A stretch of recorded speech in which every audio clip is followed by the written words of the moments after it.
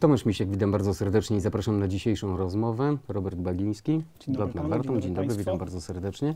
I tak sobie pomyślałem, że możemy porozmawiać sobie trochę o tym wszystkich, co elektryzuje ostatnio e, wszystkich polityków we wszystkich samorządach, mniejszych, większych, e, średnich. Dużo mówi się na temat zmian w ordynacji wyborczej. Prawo i Sprawiedliwość zapowiada takie zmiany. Co tam na północy województwa? Jakiś popłoch w niektórych miejscach? Odczuwasz e, takie napięcie, czy na razie wszyscy traktują to raczej swobodnie i mówią, robimy swoją robotę, a co się ma wydarzyć, to się wydarzy. Ja myślę, że na tą chwilę wszyscy traktują sprawę jeszcze dosyć niepoważnie, choć e, sytuacja jest niezwykle poważna, bo widzimy, że ta władza nie zatrzyma się przed niczym. To było widać przy Trybunale Konstytucyjnym, to widać e, przy sprawie sądów.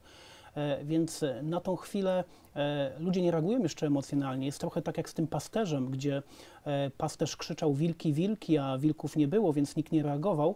Natomiast kiedy nadchodzą wilki, nikt już całkiem nie chce zareagować, prawda? I Notabene wilki w Lubuskim są. E, Tak, wilki są w Lubuskim i są również watachy pisowskie, które bardzo, e, bardzo chciałyby zająć miejsca wielu wpływowych, e, wielu zasłużonych samorządowców, którzy e, w wielu gminach przecież m, są z burmistrzami, wójtami wiele lat, e, a Prawo i Sprawiedliwość, nie wiedząc w jaki sposób pozbawić ich tych stanowisk, po prostu e, próbuje zrobić to poprzez No zmianę właśnie, prawa. pytanie, czy dociera teraz do wszystkich e, to, o czym mówi niejednokrotnie lider Prawa i Sprawiedliwości, że jakby podstawową kwestią, która ma być e, jakby następstwem wprowadzenia tych zmian ustawowych, jest to, że w samorządach tych mniejszych są patologie.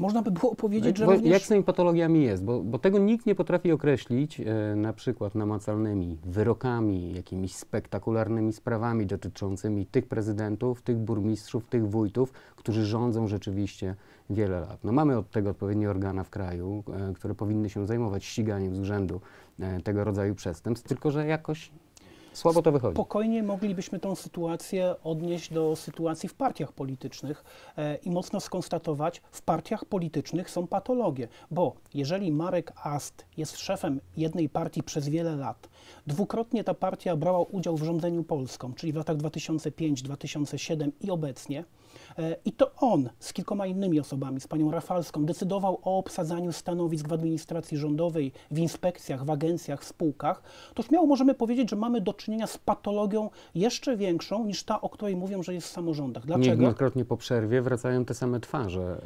e, Dokładnie. Bo mamy tak zwaną ławkę polityków, która teoretycznie jest zawsze długa, ale jak się okazuje, to ona tak, tak długa nie jest. I bardzo często dochodzi do zmiany i wracają I co najważniejsze, te osoby nie są wybierane, bo przecież nikt Władysława Dajczaka nie wybierał na wojewodę, nikt Romana Sondeja nie wybierał na dyrektora generalnego Lubuskiego Urzędu Wojewódzkiego i wielu, wielu innych nazwisk, które moglibyśmy tutaj wymienić, nikt nie wybierał. Natomiast samorządowców ludzie wybierali. Gdyby było tak źle, jak e, artykułują to politycy tak zwanej dobrej zmiany, to wyborcy nie są ludźmi nierozsądnymi, głupimi, nie powierzaliby im władzy. Zresztą mamy przykłady, chociażby z Gorzowa Wielkopolskiego, że po czterech latach, po czterech kadencjach urzędowania e, ludzie w pewnym momencie powiedzieli dość, nie chcemy już tego człowieka, dokonujemy zmiany. I nie trzeba było żadnych afer. Afery były wcześniej, ale ten człowiek był wymi- Akurat wybierany. jeśli chodzi o Tadeusza Jędrzejczaka, no to był jednym z najgłośniejszych prezydentów, Tak, bo, ale był bo zdarzyło mu się siedzieć w areszcie. I, tak. nie, I został niewybrany dopiero w momencie, gdy, gdy został uniewinniony.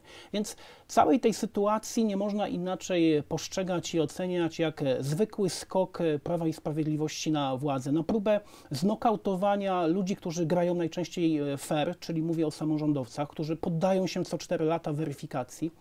E, No ale skoro nie można tak, to wiadomo, e, tonący brzytwy się trzyma, a zdaje się, że w samorządach i w terenie ta partia no, trzyma się bardzo słabo i to jest jedyny też sposób na to, by wyeliminować e, z gry polityków Polskiego Stronnictwa Ludowego, którzy są w samorządach oceniani bardzo pozytywnie i mają tam bardzo silną No jeśli pozycję. wprowadzony zostanie 10% e, próg wyborczy, to PSL po tych latach funkcjonowania w polskiej polityce, no nie chcę być niemiły dla ludowców, ale, ale znika, bo te ich magiczne 5, 6, 7%, które uzyskiwali, za każdym razem dawało im ten handicap, stawali się tak zwanym języczkiem uwagi. Teraz może się okazać, że ich nie będzie, ale co więcej, nie będzie e, wtedy takich partii jak SLD, chociaż oni już chyba sami Oni już chyba sami się pogrzebali. Zniknęli, chociaż tam nigdy nie wiadomo, jak to będzie przy okazji wyborów. Nie będzie tych wszystkich mniejszych partyjek e, typu Partia Razem, która aspiruje do tego, żeby zająć e, miejsce na lewicy. Nie wiadomo, jak poradzą sobie e, te ugrupowania, które e, no, też teoretycznie e, od lat szykują się, gdzieś tam się e, pojawiają, ale czy przeskoczą taki próg e, procentowy? Mało to prawdopodobne. Znaczy, mamy do czynienia z sytuacją, w której ewidentnie próbuje się wyeliminować opozycję. Przede wszystkim tą mniejszą opozycję, bo e, sytuacja, w której są dwie partie, czyli partia rządząca i partia opozycyjna, jest dla e, rycerzy dobrej zmiany doskonałą sytuacją, dlatego że e, układ jest dychotonomiczny, prawda? Tutaj, tutaj są rządzący, tutaj jest opozycja, natomiast te wszystkie inne partie e, reprezentujące bardzo różną wrażliwość społeczną, różne programy, ro- różną ideowość, zostaną tym progiem de facto wyeliminowane. E, Ale wyeliminowani zostaliby również ci, którzy stworzyli tak zwaną szeroką prawicową koalicję przy okazji tych wyborów. Oczywiście startowali pod sztandarem PiS, ale teraz wielu tych polityków, którzy zasiadają w ławach parlamentarnych e, z ramienia Prawa i Sprawiedliwości, odżegnują się od tego, jakby pojawiają się w mediach, to oni należą tam do tej partii, która się kojarzy z Gowinem, do tej partii, która się e, kojarzy z panem Ziobro. Natomiast gdzieś o PiSie zapominają. Nawet na belkach są podpisywani w telewizjach, że oni funkcjonują w ramach takiej, a nie innej partii. Gdyby był 10% próg i tamta partia próbowałaby swoich sił, żadnych szans. Ja myślę, że e, ta koalicja prędzej czy później się wywróci. To zresztą widać już po e, wypowiedziach Jarosława Gowina e, w zakresie właśnie ordynacji wyborczej, właśnie w zakresie reformy sądownictwa, reformy prokuratur, która tak naprawdę już się dokonała. Tu widać, że nie ma jednego głosu, tu widać, że niektórzy myślą w kategoriach e, ten rząd będzie rządził może 3 lata, może 7 lat, natomiast za 7 lat trzeba będzie spotkać niektórych ludzi na chodniku, trzeba będzie stanąć oko w oko e, na raucie w filharmonii, w teatrze e, i kiedy ktoś inny zada pytanie, słuchaj, ty byłeś w tym rządzie, który zepsuł Polskę, trzeba będzie w jakiś sposób się do tego odnieść. A może Jarosław Kaczyński, jako wytrawny polityk, bo tego mu absolutnie odmówić nie można. No jest na, wybitny na poza jakby przestrzeni- dyskusją. No, bezdyskusyjnie, Na tak? pewno I- wybitniejszy niż wszyscy inni e, działacze jego partii, którzy intelektem i specjalnymi predyspozycjami Dlatego de, facto to on, dlatego de facto to on rządzi tą partią. Ale może on po prostu w tej chwili społeczeństwo i mówi, rzucimy taki pomysł, podyskutujemy sobie na ten temat, zobaczymy, co powiedzą ludzie, bo to w końcu suweren będzie potem decydował w wyborach, a może ludzie powiedzą głośno, a my nie chcemy takich wójcickich, kubickich, tyszkiewiczów, e, którzy są w tej chwili formalnie bezpartyjni, tak, bo należą do jakichś tam stowarzyszeń, wybierani byli z jakichś dziwnych Mhm. komitetów. Jak chcą startować,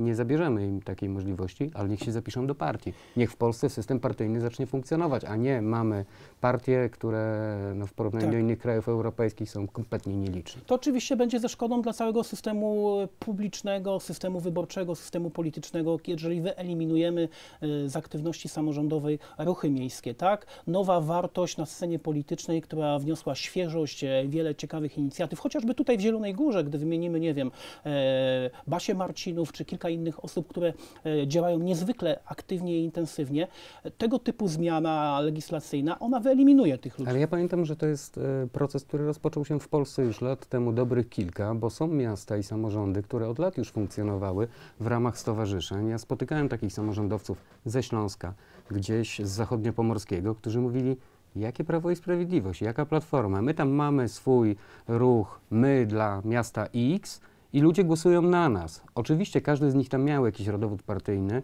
Jeden należał kiedyś do takiej partii, drugi do innej, ale mówi, jeśli mamy partię w radach miast na przykład, to one są tam trzy, cztery e, osoby, reprezentują konkretne ugrupowanie, natomiast oni stanowią siłę właśnie jakiegoś tam tworu pod tytułem Nawet- my dla kogoś. Nawet jeżeli ten projekt uda się z wyeliminowaniem e, ruchów miejskich i środowisk pozapartyjnych z samorządu, e, moim zdaniem cała ta sytuacja spowoduje osłabienie Prawa i Sprawiedliwości, dlatego że sprawy idą już chyba raczej coraz gorzej. E, e, Społeczeństwo zaczyna się denerwować całym tym hałasem, dyskusjami, niepotrzebnymi awanturami. Może się wydarzyć, że za dwa lata wielu dzisiaj wpływowych polityków Prawa i Sprawiedliwości dojdzie do wniosku, że lepiej umocować się już teraz, w 2018 roku w samorządzie i mieć święty spokój na 4 lata, niż czekać do 2019, czy nasza partia znów wygra i znów będzie rządziła w kraju. No tak naprawdę nie wiemy, kiedy mogą być wybory samorządowe, bo tutaj też podobno sprawa jest otwarta. Nie wiadomo, co z wyborami do Europarlamentu, a to jest dopiero łakomy kąsek dla wielu polityków. Niektórzy mówią, że Europarlament w Polsce postrzegany jest przez pryzmat e, takiej emeryturki bardzo wygodnej. Jak już się człowieku zasłużyłeś tutaj, to masz w nagrodę możliwość startowania z konkretnej listy, w konkretnym okręgu, z dobrego bardzo miejsca. Tak. e, zostajesz tym europarlamentarzystą. Ja już nie mówię o tych dożywotnich rentach po kadencji europarlamentu, ale wszyscy wiemy, że polscy eurodeputowani czy posłowie do Parlamentu Europejskiego potrafili po jednej kadencji funkcjonowania w Brukseli wrócić z bardzo mocno nabitym kątem Tak, i nawet potrafili się przykładów wiele. wycofywać z polityki. Więc moim zdaniem Prawo i Sprawiedliwość w 2018 przy wyborach do samorządu i w 2018 również w wyborach do Parlamentu Euro- Europejskiego zostanie wypłukane z osobowości, które tam jeszcze są, bo sobie cokolwiek powiedzieć o intelektualnych predyspozycjach tych polityków, e, to każdy z nich jest jakiś dziwny, taki zwyczajny, niezwyczajny, niby taki sam jak my, a jednak trochę inny. E, I to są osobowości jakieś tam, jakiegoś formatu, najczęściej mniejszego. E, Ale idąc do Parlamentu Europejskiego, kandydując na e, stanowiska prezydentów miast w większych miastach, czy nawet burmistrzów, partia zostanie wypłukana z tych osobowości. I kto przyjdzie w ich miejsce? Najczęściej ci pisiewicze, misiewicze, tacy lokalni, którzy wskoczą z list z kolejnych miejsc albo dostaną się do parlamentu lub nie w 2019. Więc myślę, że i dobrze, Prawo i Sprawiedliwość wiąże sobie na szyi pstryczek i oby jak najszybciej Ale ktoś jest wspierane krzesło. przez innych e, polityków, tak? Bo już Kukiz mówi, to my na sztandarach wnosiliśmy kadencyjność. Nowoczesna przypomina, że przecież oni mówili o kadencyjności e, i tych, którzy mówią, że ta kadencyjność to może nie byłby taki głupi pomysł, pojawia się coraz więcej. Jedyną kwestią jest to lex retro non agit, czy jednak nie? Czy ta zasada rzymska prawa działania wstecz będzie tu miała zastosowanie, czy też nie będzie miała? E, Gdyby to miało być e, zrobione stanowczo i miałoby realizować jakiś bardzo chytry polityczny plan, to ta zasada nie powinna funkcjonować, tak na dobrą sprawę, bo tylko wtedy eliminujemy rzeczywiście tych, bo jeśli to będzie dopiero za dwie kadencje, to nie wiadomo kogo trafi tak na dobrą sprawę. Słusznie, natomiast e, skoro Pan tak ładnie łacińską sentencją, ja również powiem, że sytuacja jest o wiele bardziej skomplikowana, jeśli chodzi o opozycję, bo Jarosławowi Kaczyńskiemu udało się doprowadzić do e, sytuacji tak, bellum omnia contra omnes, czyli gdzie wszyscy walczą ze sobą. E, I po pierwsze mamy problem z wiarygodnością opozycji, która mogłaby być tym e, silnym frontem uderzeniowym względem głupich i nierozsądnych, szkodliwych dla państwa propozycji Prawa i Sprawiedliwości, ale jest niewiarygodna, bo Kijowski, bo Petru, e, również No. Kijowski i Petru sami zdążyli się już mocno skompromitować, oczywiście mając zagorzałych fanów, natomiast to, co wydarzyło się w ich najbliższym otoczeniu, dzięki nim oczywiście, w ostatnim miesiącu, półtora e, miesiąca, no to, to tylko świadczy o nich, sztu, Esbecja sztubactwo mówiła, po prostu. Esbecja mówiła, że opozycję można zniszczyć tylko trzema zasadami, tak? Określano to korek, worek i rozporek, czyli e, kobiety, pieniądze i alkohol. E, Mam wrażenie, że w dwóch przypadkach mamy już e, jakby stan dokonany. E, Nie wiadomo, co się wydarzy jeszcze. W każdym bądź razie e, jedno jest pewne. Sytuacja jest poważna, jeśli chodzi o ordynację wyborczą, ale nie ma z kim bronić e, obecnego stanu rzeczy. Tak naprawdę można się pokusić o można się pokusić o taką sytuację, wyobrazić sobie ją, że zrobią to za nas sędziowie, prawda? Że sędziowie staną jednym Z frontem. sędziami też nie wiadomo, jak będzie. E, Ale tu też jest sytuacja nie do końca jasna, bo sędziowie ci młodsi szczególnie przyglądają się, co się dzieje i liczą na stanowiska po tych starszych, którzy będą odchodzić. E, Więc no, jesteśmy w sytuacji i w punkcie, w którym trzeba sobie jasno powiedzieć, że nie ma żartów. E, Trzeba szukać liderów opozycji wiarygodnych i mówić głosem takim, jak mówi rząd. Natomiast mam wrażenie, że opozycja zaczyna się, przepraszam za kolokwializm, cyrkolić. Używać pięknych, gładkich słów na opisywanie rzeczy, e, które nie są piękne i gładkie, są obrzydliwe i szkodliwe A może ci ludzie, którzy mienią się mianem opozycji w tej chwili, bardzo często świetni politycy, którzy funkcjonują w tej polityce od lat, może i nawet wiarygodni, natomiast bardzo mało stanowczy. E, tak na dobrą sprawę, to dopiero Prawo i Sprawiedliwość z Jarosławem Kaczyńskim pokazuje, że jeśli my chcemy coś zrobić, to my to robimy.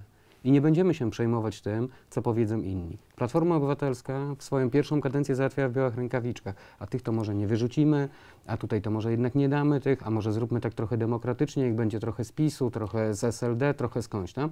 A PiS mówi, teraz my zajmujemy się tym wszystkim i to my będziemy obsadzać najważniejsze spółki e, i tak dalej, i I tak dalej, i tak dalej. I obsadzają, i robią to skończenie. misiewiczami, natomiast mam wrażenie, Chociaż że pewnie znajdziemy tam też wiele osób, które są kompetentne. kompetentne, no, no, owszem, ale generalnie nie stosunek jakby elit politycznych e, W regionie również, jak się popatrzy na te wszystkie nominacje w ostatnich miesiącach e, z obszaru Prawa i Sprawiedliwości, on przypomina trochę taką piramidę, czyli na dole mamy tych wszystkich e, aktywnych, uczciwych, rzetelnych, bezinteresownych działaczy samorządowych, o których mówimy i w których ta ordynacja wyborcza ewidentnie i bardzo mocno uderzy. Natomiast im wyżej, tym widzimy grupę e, no, taką bardzo transparentną, aczkolwiek zajmującą się działaniami nietransparentnymi, cwaniakami, którzy z polityki uczynili sobie tak naprawdę sposób bycia. Bo jak popatrzymy nawet na tych polityków opozycji, no to widzimy ich w ekranie telewizji e, już od kilkunastu, jak nie kilkudziesięciu lat. E, Społeczeństwo się zmieniło. E, 15 lat temu nie było internetu. Dzisiaj wszystko dzieje się właściwie w internecie. E, młodzi ludzie nie rozumieją języka e, polityków, którzy zwracają się do nich, chcą No, być młodzi ludzie nie chcą też e, e, rozumieć polityków. W dużej mierze odwracają się od polityków e, i nie interesuje ich specjalnie to, czym zajmują się dani politycy. Oczywiście to pewnie zależy dużo od tego, na jakim są etapie, jakim wieku, czy młodzi ludzie to są 18-22, czy może 18-35, tak? bo to też jest trudno, trudno wyważyć. Natomiast duża część osób mówi, bawcie się tam w swoim cyrku, my od czasu do czasu się z tego pośmiejemy, No to jest pooglądamy kwestia- memy, kabarety i tak dalej, natomiast czy pójdziemy na wybory, nie To jest wiadomo, nie? kwestia narracji, to jest kwestia przekazu, umiejętności komunikowania się ze społeczeństwem, także w segmencie i obszarze protestu wobec działań rządu. Jeżeli opozycję stać tylko na konferencję prasową, ale nie stać ich e, na to, żeby pojechać w teren, nie na jakieś duże e, spotkania z mieszkańcami w dużych miastach, ale do szkół, do małych miejscowości, w ogóle oni się już odspawali od rzeczywistości. E, Jeżeli nie zmieni się tej narracji, komunikowania z młodymi ludźmi, e, ich sposobem, ich środkami i narzędziami, to tak naprawdę stoimy na przegranej, bo twardy elektorat Prawa i Sprawiedliwości, on będzie rósł. Ludzie się starzeją, ludzie starsi wolą stabilizację, e, ludzie starsi chcą darmowych leków, ludziom starszym podoba się, że będą mniej Ale pracować. wszyscy chcą 500 plus, wszyscy Tak. chcieliby zarabiać dodatkowe pieniądze, każdy chciałby teraz podwyżkę jakąś niewiarygodną i spadek cen e, i tak dalej, i tak dalej. To jest naturalne. To mo, może Szwajcarzy nie chcą, tak? bo Szwajcarzy potrafią powiedzieć, że oni sobie sami zapracują, natomiast w Polsce wszyscy Więc chcą. rzeczy, które są niezbędne dla kraju, jak praca, jak gospodarka, e, jak rozwój, trzeba umieć opisać i nazwać. PiSowi udało się opisać program dobry naprawdę dla niektórych, ale w gruncie rzeczy szkodliwy dla gospodarki, jakim jest 500, jakim jest obniżenie wieku emerytalnego. Nazwać to pięknie. Piękna i dobra zmiana. 500. Tak, jest to idealnie e, narracyjnie Opozycja również genialnie. przecież wprowadzała dobre projekty w poprzedniej kadencji. Tak było kosiniakowe, 1000 zł przez rok dla każdej rodziny, ale nikt nie potrafił tego sprzedać. Jakby ludzie, e, którzy są w opozycji od kilkunastu lat, e, oderwali się od rzeczywistości i środków komunikacji, które są No dzisiaj i podziękowano standardem. im za to przy urnach. Zostawmy dużą politykę i na sam koniec porozmawiajmy trochę lokalnie o tym, co dzieje się w Gorzowie i ma się też wydarzyć w Zielonej Górze. Gdzieś na Facebooku e, mignęła mi informacja, że jakaś pani poseł, jak nie mam z Gorzowa, nie znam pani, e, podpisana była jako Ruch Republikański. Jest taki twór?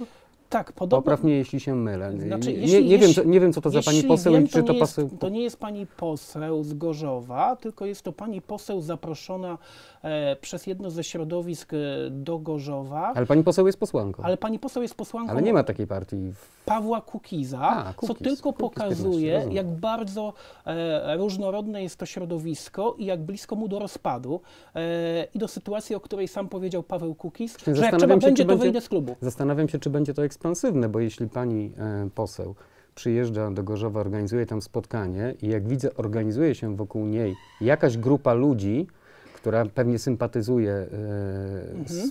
jakimś programem, który pewnie e, ci republikanie mają i widzę, że w Zielonej Górze zaczyna się to samo, że już tu powstaje jakaś tam lo, lokalny fanpage tego, już są osoby, które to lubią, może coś będą organizować. Znaczy to pokazuje chyba jednak e, coś złego, czyli rozłam e, w opozycji, bo e, ta pani, z tego co wiem, została zaproszona na, na przyjeżdża na zaproszenie partii Korwin, partii Wolność, oni się tam zmieniają co pół roku, trudno nadążyć za Januszem Korwin-Mikke, więc to jest po prostu to samo środowisko inaczej nazwane i, i, i chyba próbuje Janusz Korwin-Mikke po prostu wyciągać niektórych parlamentarzystów od Pawła Kukiza, co nie jest trudne, bo jest to przecież tygiel różnych poglądów, różnych No tak, środowisk. bardzo, duże, bardzo duży zbiór różnych, Tak, także różnych osobowości. nie, nie myślę, żeby tu coś powstało poważnego, e, raczej e, jednorazowa akcja. Ja zerknąłem, gdzieś mignęło mi po prostu, nawet nie zrobiłem tak zwanego wywiadu Wiem, że w środowiskowego, Zielonej nie, Górze nie chyba ruchy miejskie wokół tego się koncentrują.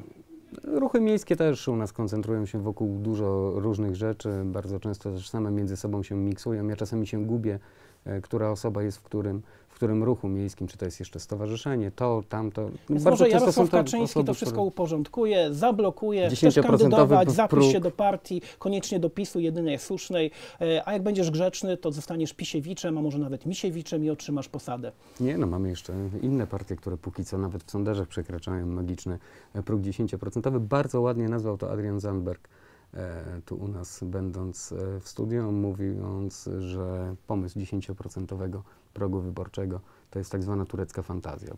Tak, No, słyszałem i świetne określenie. Bo Podejrzewam, że on powtarzał to w różnych e, częściach województwa lubuskiego, bo tak na dobrą sprawę z całym szacunkiem dla Adriana Zandberga, ale jeśli posłuchać tego, co mówił w Zielonej Górze i potem mówił w kilku innych miejscowościach, to właściwie powtarzał dokładnie te same rzeczy. Ja myślałem, że one wynikają e, z rozmowy, natomiast mam wrażenie, że pewne rzeczy były po prostu wyuczone, one też są pewnie nastawione na, jaką, e, na, na jakąś e, no, chęć pozyskania I określony elektorat, bo partia. Razem jest ciekawą partią, jest, wnosi do, na scenę polityczną pewną świeżość, tylko jak się słucha niektórych przedstawicieli, można odnieść wrażenie, że jest zbytnio przeintelektualizowana.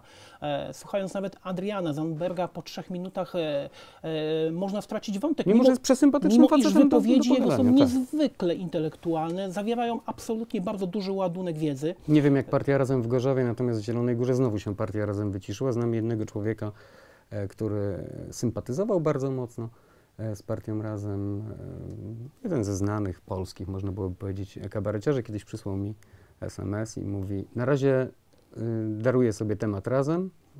Nie mam Będzie działał osobno. nie mam czasu na zajmowanie się tym. Podesłał mi kontakt do, do jakiejś tam innej osoby z Zielonej Góry, natomiast jakiegoś większego ruchu w Zielonej Górze Partii Razem nie widzę w ostatnim czasie. Nie wiem, może to cisza przed burzą, może wszyscy czekają na wiosnę, będzie ładnie, Wybory aktywizują, prawda, i spowodują na pewno, że każdy zacznie szukać miejsca dla siebie.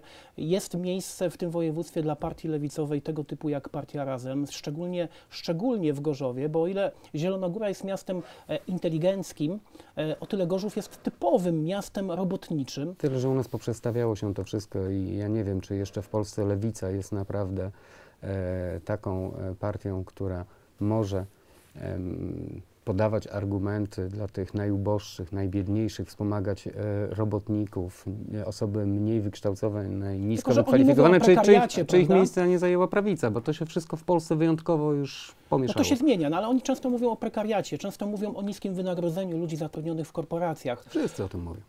E, No tak, właściwie dzisiaj wszyscy mówią, natomiast mało kto podejmuje jakieś ciekawe przedsięwzięcia i inicjatywy.